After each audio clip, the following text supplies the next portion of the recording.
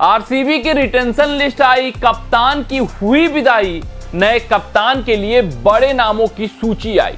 हाँ इस वक्त आरसीबी टीम के रिटेंशन लिस्ट पर सभी की निगाहें, क्योंकि आरसीबी टीम पिछले साल अथक मेहनत, अथक प्रयास और भरपूर कोशिश करके भी आईपीएल की ट्रॉफी अपने नाम न कर पाई। आधा आईपीएल खत्म हुआ तो ऐसा लगा कि पहली टीम आरसीबी होगी जो आईपीएल 2024 से बाहर हो जाएगी। लेकिन जब लीग फ़ेज़ पूरा समाप्त हुआ तो अप्रत्याशित तरीके से आरसीबी ने एक तरीके का ऐतिहासिक कमबैक किया और टॉप फोर में जगह बनाया। लेकिन फिर से वही सिलसिला शुरू हुआ। टॉप फोर में तो जगह बनाते हैं, लेकिन फाइनल तक का सफ़र पूरा नहीं कर पाते। जिस कारण से अब मेगा ऑक्शन होने वाला है। जो कमियाँ, जो खामियाँ आईपीएल 2024 में साफ़ नज़र आ रही थी, वो ऑक्शन टेबल पर आरसीबी टीम दूर करना चाहेगी। क्योंकि अक्सर जब आरसीबी की टीम सामने आती है तो ऐसा प्रतीत होता है, ऐसा महसूस होता है कि सबसे कमज़ोर टीम जो ऑप्शन टेबल पर रही है, वो आरसीबी ही रही है। क्या रणनीति के साथ वो उतरते हैं? समझ से परे। वहीं अगर हम इसके विपरीत, इसके उलट, उनकी विमेंस टीम की ऑप्शन टेबल ऑप्शन स्ट्रेटजी पर नज़र डालें तो वहाँ पर वो 20 साबित होते हैं और सभी एरियाज़ कवर्ड करके दिखते हैं, जिस कारण से दूसरे ही डब्ल्यू में वो विजेता बन बैठे हैं। लेकिन वही मेंस टीम की बारी जब आती है तो ऑक्शन टेबल पर आरसीबी टीम हमेशा ही विफल रही है। उनकी टीम ऑक्शन टेबल के बाद बहुत कमज़ोर समझ में आती है। ऐसा लगता है कि ऑक्शन टेबल में काफ़ी पीछे रह गए। और उन कमियों, उन खामियों को दूर करने के लिए इस बार ऑक्शन टेबल पर आरसीबी टीम पूरी रणनीति के साथ उतरने वाली है और बहुत हो चुका है समय। अब उनको ट्रॉफी जीतने के लिए सोचना होगा, हर एक प्रयास करना होगा और ऑक्शन टेबल पहला कार्य होता है, बेसिक वर्क होता है, उसको टिक करना होगा। लेकिन उससे भी पहले बेसिक कार्य क्या है कि सबसे परफेक्ट रिटेंशन लिस्ट बनाना होगा कि कौन कौन से खिलाड़ी ऐसे पूर्व की टीम में है, जो अभी भी उपयोगी हो सकते हैं, जो भविष्य में इनके लिए बड़ा काम कर सकते हैं और जो इनकी टीम को मजबूती प्रदान कर सकते हैं। तो अपने इस रिपोर्ट में हम आपको ये बताने वाले हैं, ये समझाने वाले हैं कि वो कौन से ऐसे पाँच खिलाड़ी हैं जिनको आरसीबी आईपीएल 2025 के लिए रिटेन कर सकता है। क्या उसमें फाफ डुप्लेसिस का नाम शामिल है या नहीं है? क्योंकि आरसीबी टीम अब अपना भविष्य देखेगी तो क्या फाफ डुप्लेसिस ही आईपीएल 2025 में कप्तानी करते हुए दिखेंगे या फिर नया कप्तान होगा, इन सभी बातों पर हम विचार विमर्श करेंगे, आपको पूरे विस्तार से, पूरे तफसील से समझाने का प्रयास करेंगे। अगर बात करें आरसीबी के रिटेंशन लिस्ट की तो आपको भी पता है, पहला नाम कौन होने वाला है उनके रिटेंशन लिस्ट में। क्योंकि अगर आरसीबी बिना ट्रॉफी जीते, इतना नाम कमाई है, इतना फ़ैन फॉलोइंग है अगर उनका वर्चस्व आईपीएल में अभी तक बरकरार है और आरसीबी टीम अभी तक बरकरार रह पाई आईपीएल टीम में तो सिर्फ़ और सिर्फ़ एक खिलाड़ी की बदौलत वो है विराट कोहली।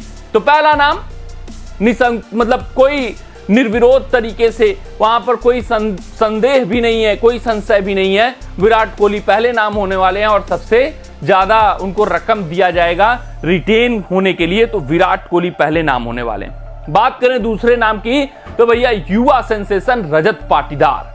रजत पाटीदार ही वो खिलाड़ी थे जिन्होंने आरसीबी की तस्वीर बदली थी, तकदीर बदली थी। हाफ़ ऑफ़ द आईपीएल के बाद उनका बल्ला बोला था और पूरी तरीके से आरसीबी कम करने में सफल रही थी। किसकी बदौलत? रजत पाटीदार के बदौलत। ये भारत के युवा भविष्य हैं, आरसीबी के भी भविष्य हैं और आरसीबी टीम इनको किसी भी कीमत पर छोड़ना नहीं चाहेगी। पिछले साल ही आईपीएल 2024 में ही दिख गया था कि आरसीबी टीम रजत पाटीदार को पूरी तरीके से बैक कर रही है और वो मानकर चल रहे हैं कि रजत पाटीदार उनके भविष्य के खिलाड़ी हैं, जिस वजह से बुरे फ़र्स्ट हाफ़ के बावजूद दूसरे हाफ़ में वो कम करने में सफल रहे।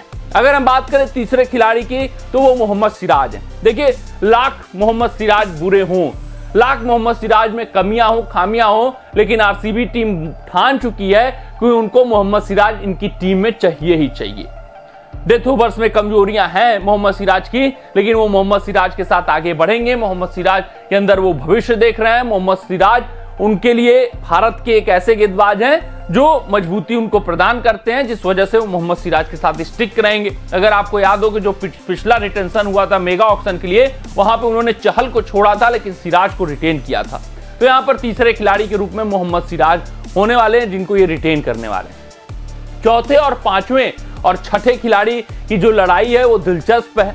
चौथा खिलाड़ी कैमरून ग्रीन होना चाहिए, क्योंकि बहुत ही बजट में इनको खरीदा हुआ है, लेकिन कैमरून ग्रीन अपने आप को सस्ते दाम में रिटेन करवा सकते हैं, वो आरसीबी टीम में बने रह सकते हैं। पाँचवें खिलाड़ी ग्लेन मैक्सवेल होने चाहिए। हालाँकि बहुत लोग इस पर सवाल उठाएँगे, उंगली उठाएँगे कि भैया मैक्सवेल की अब उतनी उपयोगिता नहीं रही है। उतना प्रदर्शन उनका नहीं आया है, ना ही अंतर्राष्ट्रीय स्तर पर, ना ही आईपीएल के पिछले संस्कट की बात करें 2024 की। लेकिन मैक्सवेल को ये रिटेन करना चाहेंगे, एक कोर ग्रुप अपना बनाना चाहेंगे। मैक्सवेल में अभी भी वो काबिलियत है, अभी दो तीन साल तो टी क्रिकेट आराम से खेल सकते हैं। और मैक्सवेल किस विध्वंसक रूप के लिए जाने जाते हैं आपको भी पता है और उनकी गेंदबाजी प्लस पॉइंट होने वाली है और मैक्सवेल अपने आप को कम बजट में आरसीबी में रिटेन करवाना पसंद करेंगे। तो जिस वजह से मैक्सवेल रिटेन हो सकते हैं। तो ये पाँच खिलाड़ी हैं जिनका रिटेन होना तय है। छठे विकल्प के रूप में ज़रूर डुप्लेसिस होंगे, लेकिन डुप्लेसिस के लिए आरटीएम का प्रयोग करना चाहेगी आरसीबी डुप्लेसिस को बतौर कप्तान अब नहीं देख रहे हैं, जिस वजह से उनको रिलीज़ करेंगे। नया कप्तान वो ढूँढने का प्रयास करेंगे। हालाँकि डुप्लेसिस के का प्रदर्शन अगर हम अन्य लीगों में देखें तो बहुत शानदार रहा है। काफ़ी ज़बरदस्त फॉर्म में दिख रहे हैं, लेकिन डुप्लेसिस का रिटेन होना बहुत कठिन है, क्योंकि डुप्लेसिस की उम्र हो चुकी है। अंतर्राष्ट्रीय स्तर पे वो क्रिकेट खेलते नहीं है, और अब भविष्य का टीम बनाना चाहेगी आरसीबी टीम तो डुप्लेसिस से ऊपर उठकर नए कप्तान की तलाश में जाएगी। और अगर हम उन नए कप्तानों की बात करें तो वहाँ पर के राहुल का नाम काफ़ी मुखरता से लिया जा रहा है। ये बताया जा रहा है कि के राहुल आरसीबी से जुड़ सकते हैं और संभावनाएँ बहुत ज़्यादा हैं, क्योंकि के राहुल बड़े भारतीय नाम है, बड़े भारतीय चेहरे हैं। विराट कोहली के बाद केएल राहुल के रूप में भविष्य देखा जा सकता है और के राहुल में लीडिंग लीडर वाली क्वालिटी है, वो अच्छी तरीके से लीड करते हैं। थोड़ी सी उनको मानसिकता बदलने की ज़रूरत है टी फॉर्मेट में, अन्यथा राहुल एक अच्छे विकल्प नज़र आ रहा है।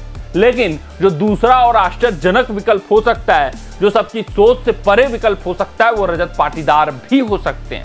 अगर रजत, अगर राहुल को ये हासिल नहीं कर पाए, राहुल को ये अपनी झोली में नहीं डाल पाए तो रजत पाटीदार को भी कप्तानी दी जा सकती है। देखना दिलचस्प रहेगा कि आखिरकार के राहुल या फिर रजत पाटीदार कौन लीड करेगा आईपीएल 2025 में आरसीबी टीम को।